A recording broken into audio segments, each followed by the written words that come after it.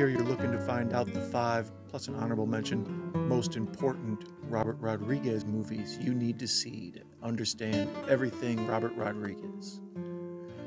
I can certainly help you, but then after this, you're going to have to help me retrieve some gold from a local Aztec pyramid.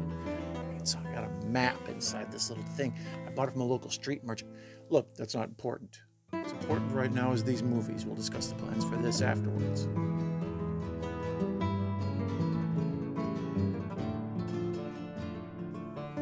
Honorable mention El Mariachi. This movie is fantastic. I've watched it probably 10 times, at least five times regular, and then another five times with the commentary by Rodriguez on the, the uh, tracks. Whatever. It's here. I'm not going to move it. Everything will fall down. It'll be like Jenga. So obviously, I love the movie. The problem is, is uh, it it's made for like $15,000 or something like that. It was made dirt cheap.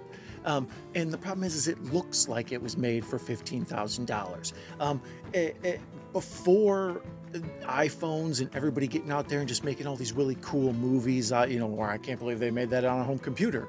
You know, it, a normal person couldn't make those type of movies. So much like Clerks or, uh, you know, to a little bit Reservoir Dogs and a bunch of other like indie movies in the 90s. Robert Rodriguez made El Mariachi with the intention of selling it to uh, the local Mexican TV market. So he, you know, or maybe even try to get it in the uh, uh, video stores. It's like an action movie, but real low budget. And, and he's a very talented director. So he ended up making a movie that uh, people wanted to see. And he entered it in a bunch of like film contests, you know, Sundance and all these other independent like spotlight movie things. So what he did to get by ended up becoming like great art. So, for example, he had a dog available and he had a turtle available, and he would just get still shots of the dog and the turtle. And then when he needed a cutaway, so if he needed a better line from a, a different take, he could just steal it from there and cut between the two with the dog or the turtle. But then, like, all these kind of like phony art house people watched the movie and were like, oh, I think the dog and the turtle have deep meaning. And really, it was just kind of his, like, you know, quick way to solve a problem. And that's what I love about this dude. He's the master of solving problems on the cheap. He's the original, like, grindhouse, make it on the quick, you know, make it with your friends, make it fast, uh, shoot everybody out in a couple days to keep the budget low. That way you can have all sorts of good stars in it. You know, he's very super efficient filmmaker. And uh, on his DVDs and Blu rays, uh, and I think they're all over YouTube now. You probably find they're like 10 minute film schools. Just, you know, look for Robert Rodriguez. Um, and you can see he gives all these pointers and tips of how to improve your movies. And that was one of the things I watched early on that inspired me to make my own films and stuff. So, you know, he's he's part filmmaker, but he's also part uh, teacher you know so it, his films aren't always the best. They're not the most polished. You know i obviously prefer a good scorsese film over a robert rodriguez film. But you know a movie like desperado and all these he's just great. So uh, the problem is with with el mariachi is it looks like an early on movie and, you know, a normal person might watch it and be like, why are you watching this cheap crap? And especially the fact that it's foreign language. And, you know, you can get a good overdub, but, uh, you know, the best way to watch it is probably in original Spanish. But, uh, yeah, definitely check out El Mariachi if you're way low. But otherwise, it's honorable mention, you know, uh, for a reason on this list.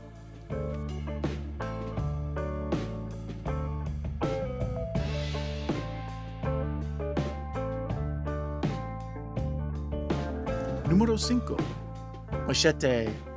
Uh, when Tarantino and Rodriguez teamed up to make the Grindhouse movies, uh, you know, part of that cheap charm of making it's really hard to make bad things properly. Like people overdo it, you know. So satire is incredibly difficult.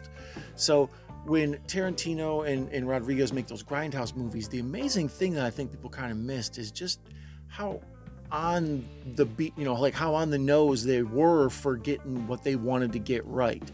So uh, he goes back to the well after doing Planet Terror and does this second series of Machete, which was a trailer in the Grindhouse series. You know, he turned that into a, a movie. I think it might have been some part of some contest or whatever, but I make things up. Um, so uh, it's him and his buddy Danny Trejo. They make Danny Trejo the big superhero he needs to be. You know, he kicks all the ass. It's got like kind of this early '80s uh, direct-to-video plot. Um, but it's absurd and it's a wild ride. It's total like schlocky, campy fun. But like I say, it's so hard to do satire and camp just right, and Rodriguez nails it. Like that's probably the reason he went back to it twice. But um, yeah, check out Machete.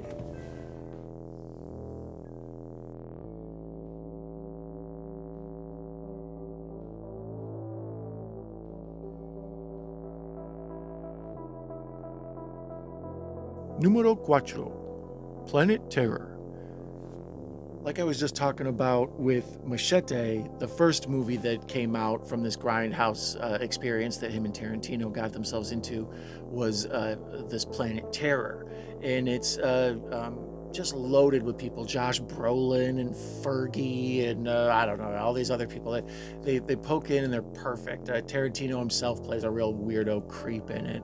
Um, Anyways, there's a surprise cameo by a great actor. Um, and it's just, it's a wild ride, but it's this zombie kind of John Carpenter homage movie. It's got the Carpenter score and everything. So it's, it's, it's, I love it personally, but it's lower on the list because it's going to be less palatable to people who aren't into that grindhouse 1980s video cassette culture. You know, the, the drive in theater movie where you go see a double feature and eat a weird piece of pizza that may or may not be repurposed from the garbage can of the local pizza place or whatever.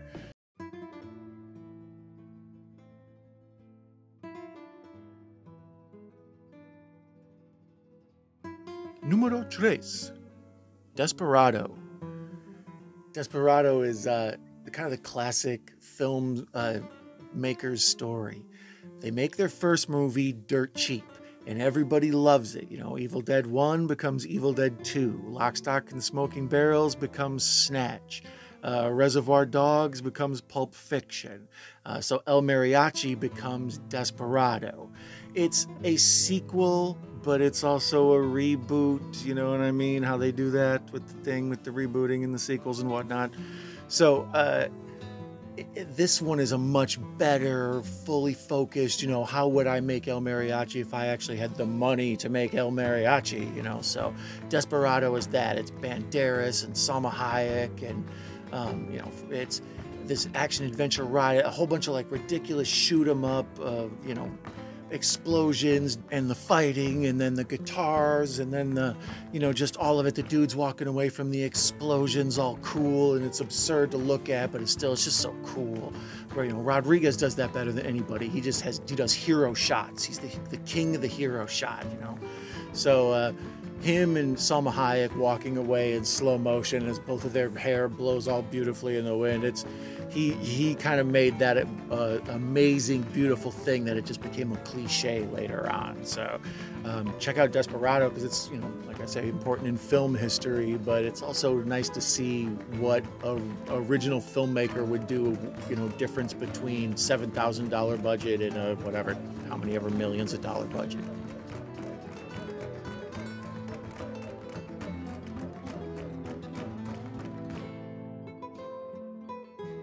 Numero dos, From Dusk Till Dawn.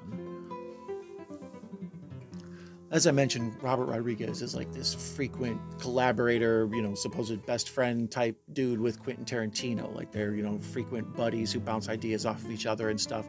And uh, uh, they worked on the ground grindhouse stuff together and they they became friends doing the festival circuit when they both were coming up originally. So you know they were young and they kind of like had a buddy who was going through the same thing. So because of that they frequently do stuff together like the grindhouse movies and um, you know this the their first collaboration where it's an old script of Tarantino's that he had intended for the people who make Walking Dead to turn into a movie so um, that never happened, and Tarantino ended up getting it back and getting it uh, Robert Rodriguez to go through and make it for him.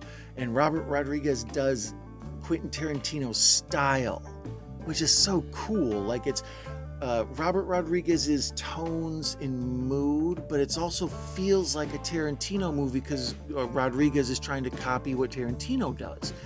So it's well, Robert Rodriguez is one of I don't know this and number one are just so amazing to me because uh, the a, an action movie. It's just a good action movie, but this is a director doing someone else's work, but not like Gus Van Sant reshooting Psycho shot for shot. You know, it's it's more uh, seeing the world through Quentin's eyes.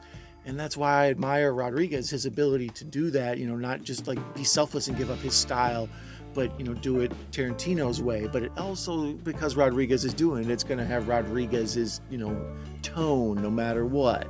So uh, that's one of the reasons it's great. It's a, it, it's a crime drama. It gives uh, George Clooney his first chance to really be a star in this movie. And then Tarantino's kind of there, you know, like he he was trying to get into acting. He's mediocre, okay. He he does all right in this because Robert Rodriguez knows how to shoot around people and shoot stuff fast and cut away. So you know, if Tarantino gets a little hammy or whatever, they just cut away on him.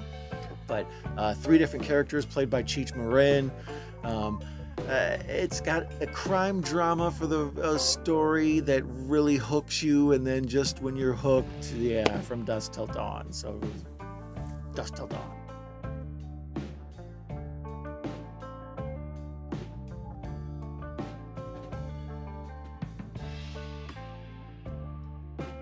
Numero uno, Sin City.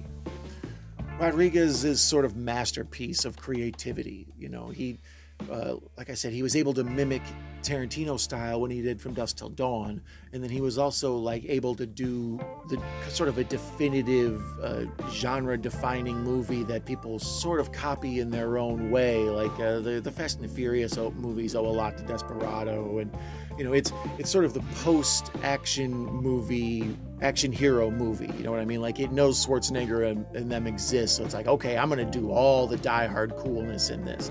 So um, when Sin City comes along, he's like a Jedi and he knows all the tricks and he's got a whole bag full of them.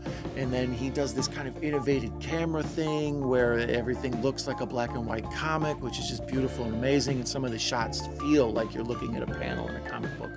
Um, Mickey Rourke, Elijah Wood, uh, Bruce Willis, once again, he's awesome. Um, so, yeah, I would say that's probably the most important Robert Rodriguez movie because you can see that this dude is just on an artistic level that other people really aren't, but he's an ability to do it so cheap, which is what makes it amazing. You know, he's got a style unto himself, but he's able to mimic other styles. He's just incredibly talented. Um, you know, I'd like to see him do more stuff, but he kind of got caught up making Spy Kids movies and focusing on the El Rey channel and some other stuff. So, um, either way, uh, Robert Rodriguez is still a great director, and I would recommend checking out all of these movies in particular. The uh, top three, they're you know a, a, great triple feature, or at least uh, pick one of your favorites to do a double feature with. You know. All right, adios amigos. Let's go. Uh, let's go get that gold.